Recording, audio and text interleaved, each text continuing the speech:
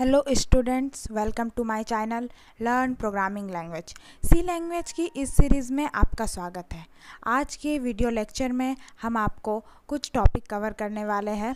जैसे आपको ये जानने को मिलेगा इस लेक्चर में कि हमारा सी लैंग्वेज की कोडिंग की शुरुआत कौन से लाइन से होती है।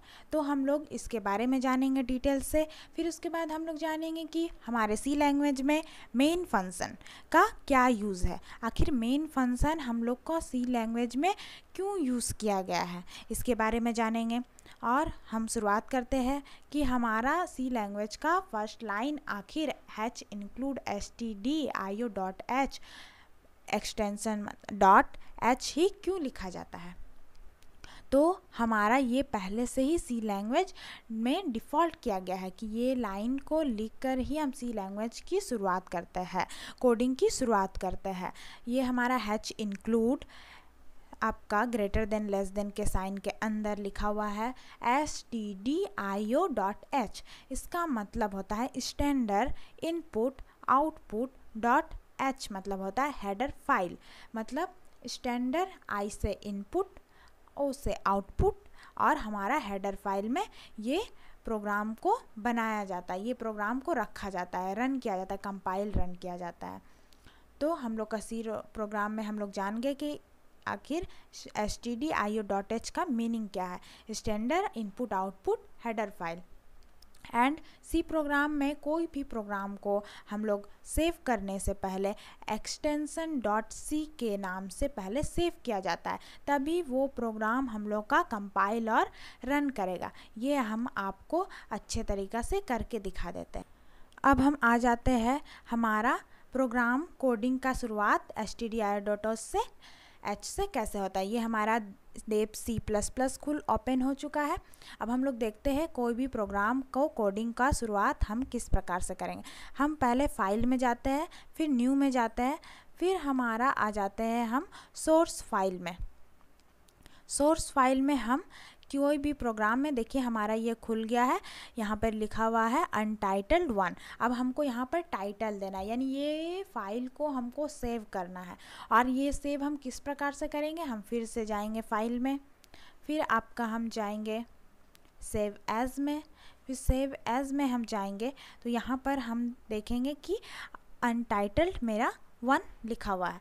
तो इसमें हम कोई भी कोड सेव कर सकते हैं। जिस प्रकार से हम सेव करते हैं, कोड डॉट सी। तो एक्सटेंसन डॉट सी से हमारा ये सेव हो चुका है। तो इसको सेव कर लेंगे तो हमारा यहाँ पर ही फ़ाइल खुल जाएगा। तो कोई भी कोड का शुरुआत अब हम कैसे करेंगे? तो हम पहले ही बता चुके हैं कि हमारा कोई भी कोडिंग का शुरुआत होता है। हैच इंक्लूड आपका हैच इंक्लूड ये आपका सारा स्मॉल में रहेंगे। Hash include S T D I O dot H अब ये S T D I O dot H ये हम लिख करके हमारा कोई भी प्रोग्राम का शुरुआत करते हैं, कोई भी कोडिंग का शुरुआत हम कर अब हमने ये देख चुका है कि कोडिंग का, कोई भी प्रोग्राम का कोड को शुरुआत करने से पहले हम उसमें सेव कैसे करते हैं एक्सटेंशन डॉट सी के साथ उस प्रोग्राम को हम सेव करते हैं। अब हम लोग जानेंगे कि व्हाट इज़ मेन फ़ंक्शन आखिर ये मेन फ़ंक्शन क्या है? और मेन फ़ंक्शन का सी लैंग्वेज में क्यों इसका यूज़ किया गया है? ये मेन जो ब्रैकेट में लिखा जाता है मेन ये एक फ़ंक्शन है। मतलब ये डिफ़ाइन करता है आगे का स्टेटमेंट हमारा किस प्रकार से एग्जीक्यूट हो रहा है और आगे का प्रोग्राम मेरा जितना भी स्टेटमेंट है इसी मेन फ़ंक्शन के अंदर सारे स्टेटमेंट्स हमारे लिखे जाते हैं फ़ंक्शन का। तो हमारा ये क्या जानते हैं कि मेन फ़ंक्शन मेन एक फ़ंक्शन है। A function is nothing but a set of statement मानी एक सेट ऑफ़ स्टेटमेंट है। मतलब हमारा जितना भी स्टेटमेंट आ जाता है कोडिंग में कि कौन सा स्टेटमेंट कब एग्जीक्यूट होगा स्टेप बाय स्टेप हम जो स्टेटमेंट लिखते हैं इंस्ट्रक्शन देते हैं एक्चुअली में जो इंस्ट्रक्शन हम देते हैं, वो हमारा जो स्टेटमेंट है, वो सेट ऑफ़ इंस्ट्रक्शन जो है सेट ऑफ़ स्टेटमेंट जो है, वो हमारा मेन फ़ंक्शन के अंदर लिखा रहता है। तो हमारा मेन फ़ंक्शन कोई भी मेन फ़ंक्शन के अंदर ही कोई भी इंस्ट्रक्शन को हम दे सकते हैं। उसके बाद हमारा कोई भी स्टेटमेंट कर्ल ब्रैकेट के अंदर नीचे, उसके नीचे अंदर लिखाता है। फिर उसके बाद हमारा कोई भी प्रोग्राम एग्जीक्यूट करता है मतलब कंपाइल और रन करता है। और ये हमारा जिस प्रकार से अगर हम इंट मेन लिखते हैं यहाँ पर तो हमारा फ़ंक्शन देता है कि ये इंट टाइप का है, यानी इंटीजर टाइप का है। तो ये वैल्यू इंटीजर ही रिटर्न करेगा।